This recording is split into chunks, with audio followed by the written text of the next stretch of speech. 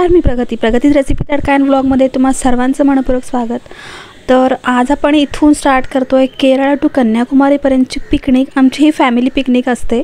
तर लास्ट इयरसुद्धा मी अशा प्रकारे राजस्थानची सर्व पिकनिक जी आहे त्याचं थोडं थोडं शूटिंग करून व्हिडिओ अपलोड केले होते. तर यावर्षीची आमची पिकनिक आहे केरळ टू कन्याकुमारी आणि शेवटी आहे त्रिवेंद्रम. फक्त तिथे पद्मनाभमचं मंदिर आपण पाहणार आहोत. तर इथे व्हिडिओला सुरुवात करते. तर सुरुवातीला आपण इथे त्रिशूरमध्ये गेलेलो आहोत. तर ठाण्याला आपण ट्रेन पकडली होती आणि त्रिशूरला उतरून इथे कृष्णाचं सुंदर असं एक मंदिर पाहिलं होतं. तर अशी मूर्ती असते तर कुठल्याही मंदिरामध्ये आतमध्ये शूटिंग अलाव नसतं. त्यानंतर आपण हाऊसबोटमध्ये म्हणजे आलेपीमध्ये आलो आहोत आणि हाऊसबोटमध्ये आमचं एक वन नाईट आणि वन डे असं स्टे होता. तर आम्ही इथे मॉर्निंगला सर्व पोहोचलेलो आहोत आलेपीला. त्रिशूरवरून आलेपीला यायला साधारण एक तीन ते चार तास लागलेले आहेत. तुम्ही पाहू शकता. त्यानंतर इथे मस्त असं सर्व सेट झालेले आहेत. सर्वजण अगदी मस्त फुल डे असल्यामुळे सर्व इकडे तिकडे छान हाऊसबोटमध्ये एन्जॉय करत होते. थोडंसं इकडे गरमीचं वातावरण होतं. तर इथे पाहू शकता बोट आपली अगदी काठावर लागलेली असताना थोडं थोडं इथे आम्ही सर्वांनी बोट कशी चालवायचं ते ट्रेनिंग घेतलेलं आहे पर्सनली स्वतःने. सर्वाचे स सर्व जेवढे लोक होतं तेवढ्यानी सर्वांनी थोडं थोडं ट्राय केलं. त्यानंतर इथे ब्रेकफास्ट वगैरे झाल्याच्यानंतर ही बोट जी आहे ती चालू झालेली आहे आणि आता ही हळूहळू बोट दुसऱ्या म्हणजे किनाऱ्यावरती जाऊन लागते. म्हणजे आपल्याला इकडे दुसऱ्या किनाऱ्यावर एक रात्र काढायची आहे आणि सेकंड डेला मॉर्निंगला आपल्याला ही बोट सोडायची आहे. तर एक दिवसाचा एक्सपिरियन्स छान होता. हाऊसमध्ये त्या लोकांनी आम्हाला ब्रेकफास्ट लंच आणि डिनर असं छान असं प्रोव्हाइड केलं होतं. तुम्ही पाहू शकता. तर केरळाला गेलं आणि ते बॅकवॉटरमध्ये एक नाईट काढली नाही तर काहीच नाही पाहिल्यासारखं आहे. तुम्ही पाहू शकता इथे सर्वच अशा मस्त हाऊसबोटी होत्या खूप साऱ्या डिझाईनमध्ये आणि क्लायमेटही छान होतं. इथे स्पीडबोट आलेल्या होत्या. तर अशा प्रकारे आम्ही सेवन सेवन एका बोटमध्ये सेवन सेवन लोक असं थोडंसं स्पीड बोट ज्यांना कोणाला एन्जॉय करायचं आहे मजा करायची आहे त्या लोकांनी ट्राय केलं. तर आम्ही सुद्धा ट्राय केलं होतं. छान एक्सपिरियन्स होता. पहिली भीती वाटत होती. पण एकदा बोटमध्ये बसल्याच्या नंतर फारशी काही भीती वाटली नाही. छान मज्जा आली. तर असा आमचा हाऊसबोटमधला एक दिवस होता. तर हाऊसबोटमधलं आतलं सर्व शूटिंग मी केलेलं नव्हतं. कारण तेव्हा मी थोडंसं लाईव्हस्ट्रीम केलं होतं आणि लाईव्हस्ट्रीममध्ये मी इथल्या रूम वगैरे कशा असतात ते सर्व दाखवलेलं आहे. की ते थोडंसं मुलांनी वगैरे बसून मस्त हाऊसी वगैरे खेळायचा प्लॅन केला होता आणि ते लोक खेळत होते. तर इथे मस्त अशी संध्याकाळ झाली. संध्याकाळ झाल्याच्यानंतर तुम्ही पाहू शकता रात्रीच्या वेळी दुसऱ्या बोटीच्या आतलं लाइट वगैरे खूप छान दिसत होतं. तर अशा प्रकारे हाऊसबोटमधला आमचा एक दिवस आणि एक रात्र गेलेला आहे. सेकंड डेला आम्ही सकाळी इथून निघाले आहोत मुनारला जाण्यासाठी आणि वाटेतच असा छान असं एक वॉटरफॉल होता अगदी रस्त्यावरच. तर तिथे थोडंफार आम्ही असं अशा प्रकारे थोडंसं फोटो सेशन वगैरे केलेलं होतं. तर छान वाटलं आणि मुनारचं स्टार्ट झाला प्रवास तिथून. क्लायमेट थोडं चेंज झालं. छान थंड असं मुनारला क्लायमेट होतं. आणि आमच्या हॉटेलजवळ आम्ही पोचलेलो आहोत. तर फार जुनं हॉटेल होतं आणि ते ज्या कार लावलेल्या आहेत त्या पण अगदी खूप जुन्या मॉडेलच्या होत्या. आणि हॉटे हॉटेलचे रूमसुद्धा खूप छान होते.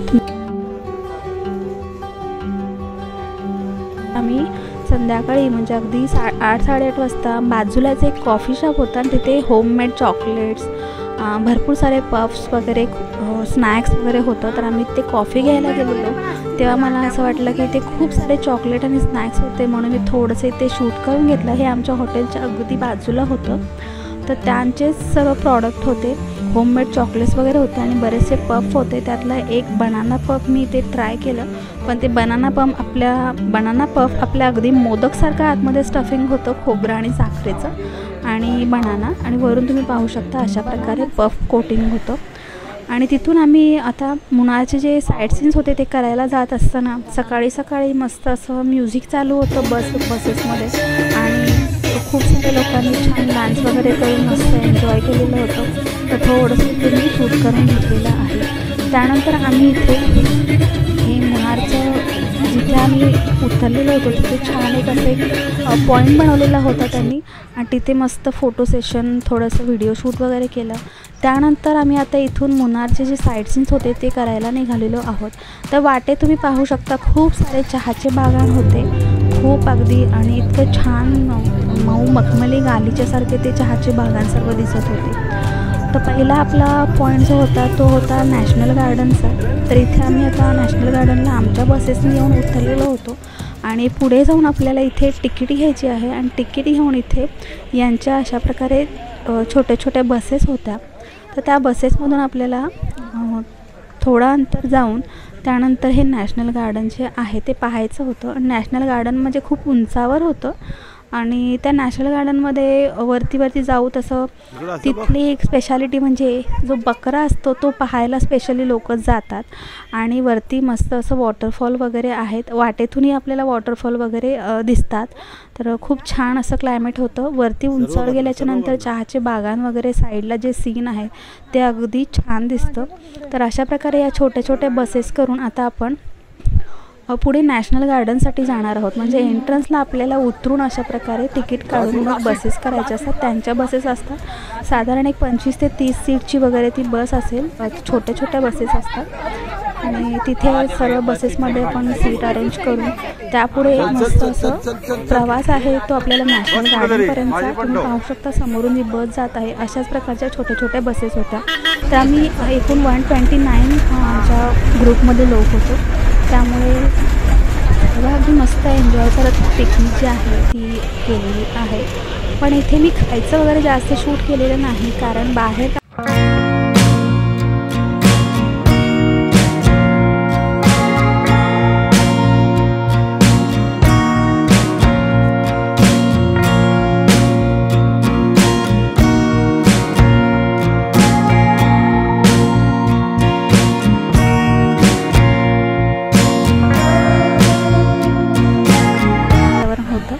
तुम्ही पाहू शकता. तर अगदी छानच क्लायमेट होतं इकडे. आणि चहा घेऊन आपल्याला आता पुढे जायचं होतं. तर खूप छान असे इथे पॉईंट होते जिथे फोटो सेशन वगैरे करून घेतलं आम्ही जाता जाता इथून आपण आता एंट्री करतो आहे नॅशनल गार्डनसाठी तर इथे तुम्ही पाहू शकता आपण आता एवढ्या उंचावर आलेलो आहोत. इथे काही स्टेप्स वगैरे नाही असंच आपल्याला चढण आहे रस्ता आहे. आणि ही अशी जी भकरा आहे हे पाहण्यासाठी लोक अगदी उंचपर्यंत जातात. तर वाटेतच आम्हाला बरेचसे असे बकरे भेटले. तर आम्ही थोडंसं त्यांच्यासोबत ही फोटो सेशन केलं. तुम्ही पाहू शकता. तर छान मजा आली. आणि अगदी वरतीपर्यंत काय मी गेलेली नाही कारण अगदी वर थोडंसं वॉटरफॉल वगैरे असं थोडं छान असं क्लायमेट होतं आणि हे जे बकरे आहेत ते उंचावर असे अगदी चढताना वगैरे वरती पाहायला मिळतं. खाली उतरता उतरता इथे एक शॉप होतं आणि तिथे सगळे असे आर्टिफॅक्ट्स वगैरे होते लाकडी खेळणी वगैरे शो पीसेस वगैरे ठेवलेली होती. आणि त्यानंतर आपण आता इथून निघालेलो आहोत आणि वाटेत तुम्ही पाहू शकता चहाचे बागान जे आहेत गार्डन जे आहेत ते आपल्याला परत पाहायला मिळत आहे. आणि आता आपण जात आहोत इको पॉईंटला तर इको पॉईंट आहे इथे. तर ते पण अगदी थोड्याशा अंतरावर होतं. थोडंसं पावसाचं क्लायमेट होतं. तर इथे अशा प्रकारे आतमध्ये बोटिंगसुद्धा आपण करू शकत होतो. पण आम्ही हाऊसबोटमध्ये ती स्पीड बोटिंग केलेलं होतं. त्यामुळे ते बोटिंग कोणी फारशी आमच्या ग्रुपमध्ये नाही केलं. तर पाहू शकता. छान असं इथलं वातावरण होतं मस्त संत असं वाहत वाहते पाणी आणि समोर जी झाडं दिसत आहेत अगदी उंच उंच. तर इथून आपण या काठावरून जे काही जोरात बोलवते परत आपल्याला आपला आवाज असा फिरून येतो. तर आम्हीसुद्धा इथे ट्राय केलं होतं. दोन वेळा आमचा आवाजसुद्धा परत आम्हाला ऐकू आलेला होता. छान वाटलं. इथला एक्सपिरियन्स छान होता.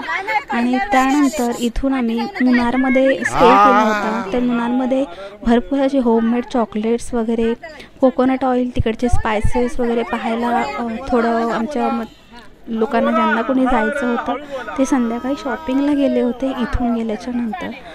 आणि आपणही थोडं इथे चॉकलेट्स वगैरे घेतले होते. मी थोडे चॉकलेट्स घेतलेले होते कारण होममेड चॉकलेट्स होते. तर यानंतरचा जो व्हिडिओ असणार आहे तो आपण पुढे मधुराई रामेश्वरम आणि आणि सर्वात शेवटी आपण टेम्पल पाहणार आहोत. तो व्हिडिओ असणार आहे.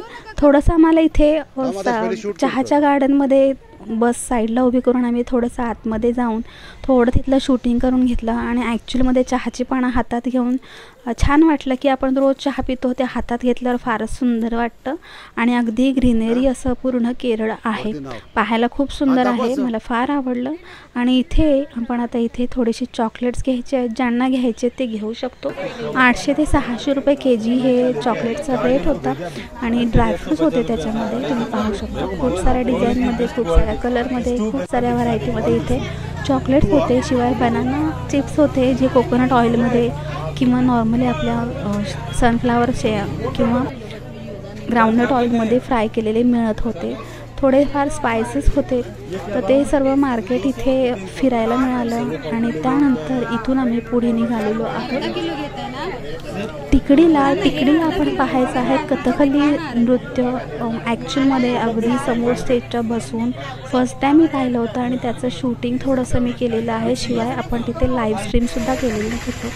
तर हा ब्लॉग मी इथेच संपवते आणि याच्यापुढे आपण जाणार आहोत टिकडी मधुराई रामेश्वरम कन्याकुमारी आणि शेवटी असणार आहे पद्मनाभ टेम्पल. तर असेच माझ्यासोबत बनून राहा. तर पुन्हा भेटूया नेक्स्ट ब्लॉगमध्ये तोपर्यंत. धन्यवाद.